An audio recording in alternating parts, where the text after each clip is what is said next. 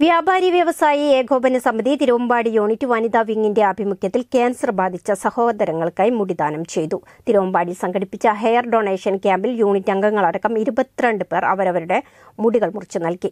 ലഭിച്ച മുടികൾ M V R Chooloor cancer സെന്ററിൽ പ്രവർത്തിക്കുന്ന പ്രതീക്ഷാ വിഭാഗത്തിന് കൈമാറി. മുടിദാനം ചെയ്യൽ പ്രവർത്തനങ്ങൾക്ക് വ്യാപാരി വ്യവസായി ഏകോപന സമിതി വനിതാ wing president Jancy Mathew secretary Meenu Albin treasurer Mini Raj Mariyamma Babu Valsala Ravi Teena Swaraj Geetha Sunil എന്നിവർ നേതൃത്വം നൽകി.